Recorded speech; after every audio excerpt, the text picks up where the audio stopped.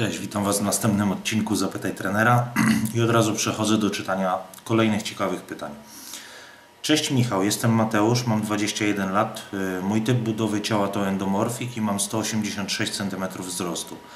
W liceum chodziłem na siłownię i rzeczywiście było widać rezultaty. Niestety musiałem przerwać treningi z braku czasu. Obecnie ważę 115 kg. Mam zamiar wziąć się za siebie i schudnąć 15-25 kg i tym samym nabrać masę mięśniową. Tu rodzi się pytanie, jaki trening szczerze polecasz i co z dietą? Pozdrawiam Cię serdecznie i niech masa będzie z Tobą. Mateusz, poruszyłeś tutaj kolejny e, bardzo ważny mm, problem, jeśli chodzi o budowanie masy mięśniowej i redukcję tkanki tłuszczowej. Mm, Musimy sobie zdawać sprawę z jednej bardzo ważnej rzeczy, że y, aby tracić tkankę tłuszczową, musi być zachowany deficyt kaloryczny, czyli musimy dostarczać do organizmu mniej kalorii niż organizm potrzebuje na y, codzienne, y, do codziennej pracy, na wydatek energetyczny. Aby budować masę mięśniową, musimy tych kalorii dostarczać więcej. Także y, są to takie trochę dwie sprzeczne ze sobą rzeczy. Jest jeden jedyny wyjątek od tej reguły, jeśli chodzi o budowanie masy mięśniowej mm, i utratę tkanki tłuszczowej. Dotyczy się to osób, które bardzo, bardzo, bardzo długo nie trenowały na siłowni, bądź w ogóle nie trenowały, a mają dość spory bagaż e, nadmiaru tkanki tłuszczowej. Takie osoby na samym początku faktycznie mogą budować delikatnie masę mięśniową i tracić tkankę tłuszczową, lecz ten efekt, efekt bardzo szybko niestety ustaje. Jeśli jesteś ważącą osobą 115 kg, to naprawdę tej tkanki tłuszczowej musi być u Ciebie dosyć dużo. E, I tutaj ja na pewno opierałbym się raczej, raczej najpierw na redukcji, a potem jak już uzyskasz sylwetkę zadowalającą, poszedłbym y, wyżej i zaczął budować masę mięśniową. Jaką dietę powinieneś zastosować?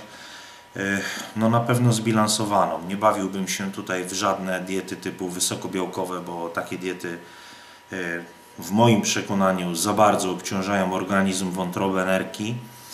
E, Tak samo diety beztłuszczowe nie są też moim zdaniem dobre.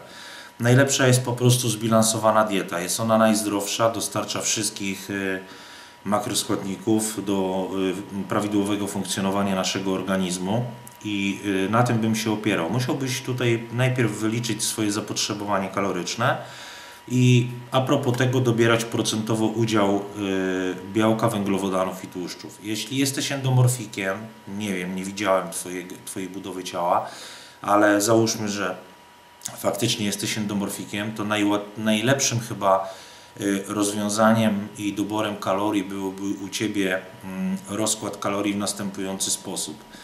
Y, 40% kalorii pochodzących z białka i po 30% z, węglowodanów i tłuszczy. Y, Zapewni Ci to w miarę stabilny poziom cukru w organizmie przez cały dzień. Mm, Taka podaż węglowodanów, jeśli będą to oczywiście węglowodany złożone. Y, odpowiednią ilość tłuszczy do właściwych przemian wszystkich hormonalnych w organizmie, a także białko do tego, aby budować y, na początku właśnie nową muskulaturę, a w późniejszym okresie, okresie aby y, te spadki masy mięśniowej były jak najmniejsze. Y, Tutaj jeszcze odnośnie treningu. Jaki trening bym Ci polecał? Na samym początku polecałbym trzy treningi w tygodniu. Może to być na samym początku na przykład trening wprowadzający obwodowy, jakiś full body workout, potem trening y, tradycyjny, jakiś split, Y, ale fajną metodą dla osób, które chcą wzmocnić swoją sylwetkę i chcą zgubić kilogramy są programy mm, treningowe oparte na crossficie.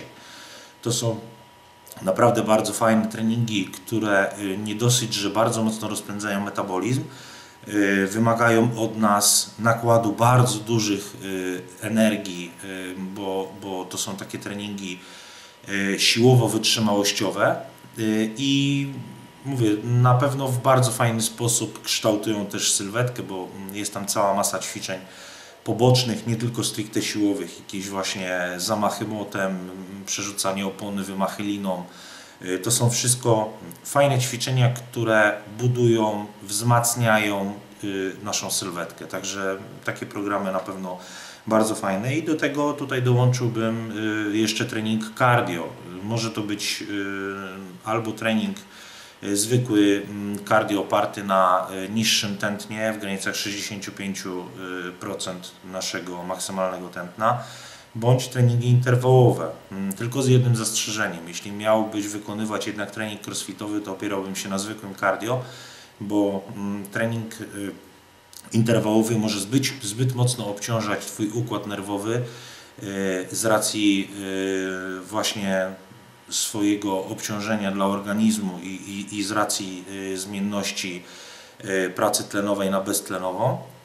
I mm, wykonywanie tego treningu zbyt często może doprowadzić również do utraty zbyt dużej masy mięśniowej.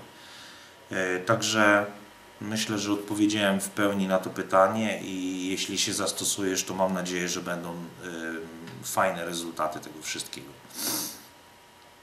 Następne pytanie zadał mi Hubert. Cześć, mam pytanie do Michała Karmowskiego. Otóż na siłownię chodzę od jakichś 6 miesięcy i zauważyłem, że mam dużą asymetrię mięśni brzucha. Czy mógłbyś mi poradzić, jakie robić ćwiczenia, żeby to zniwelować? Mi daje, wydaje mi się, że brzuszki wy, wykonuję poprawnie. Robię też abs.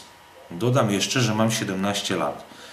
E, drogi Hubercie, mm, abs to y, z angielskiego skrót abdominals, czyli mięśnie właśnie brzucha.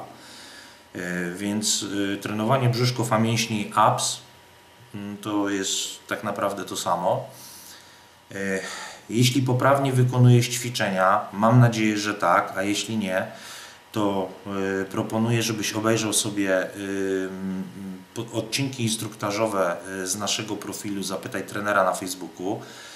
Tam we właściwy sposób opowiadam o tym, jak należy je wykonywać i tam są filmy instruktażowe z moim udziałem, udziałem także polecam.